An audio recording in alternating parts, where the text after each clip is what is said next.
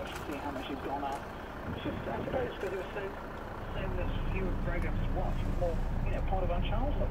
And they're just showing. All I need to say is the word elephant, and you know exactly what you see right there now showing on the television. Yes, and I'm seeing the poor, the poor zoo people in the background. So, as far as the show goes now, we're not bogging.